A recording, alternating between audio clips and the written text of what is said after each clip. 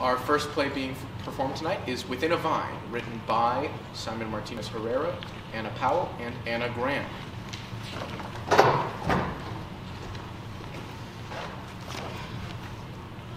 It started on a wooden trellis where all the lovely grapes lived. The little ones get bigger, their bellies get fuller, and there sat a little grape, chatting up a storm. He bugged and bugged his neighbors whenever he was bored, which was all the time. Guys, guys, I grew a little. I feel full of life and fit as a fiddle. Why are you yelling? And why are you rhyming? I don't know. Will you two pipe down, or I'll pick you off the vine myself? Oh yeah, come and try it. You guys are morons. As the grapes Whoa, bickered, where did you come from? how rude. But if you must know, I've been here for many months before any of you arrived. I've been sleeping no less than a few inches from an old grave. I haven't even picked, mister.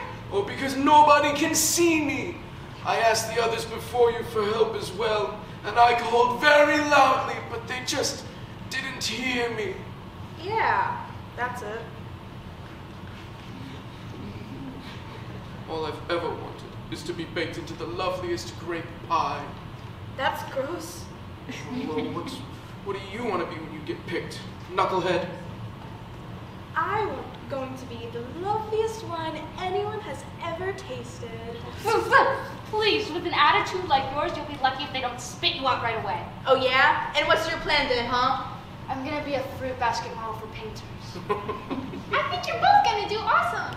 And what's your plan for life, eh, squirt? To be awesome.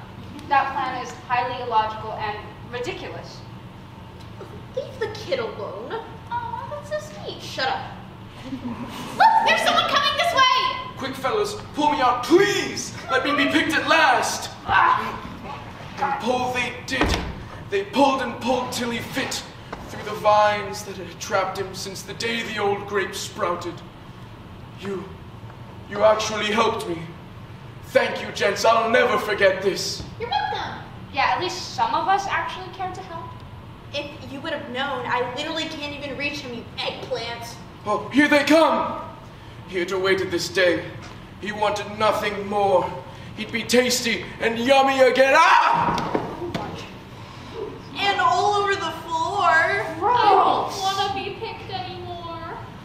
And so the grapes moved on to become what they had dreamed.